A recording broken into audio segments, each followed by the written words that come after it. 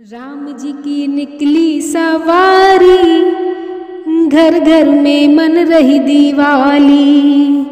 राम जी की निकली सवारी, घर घर में मन रही दीवाली।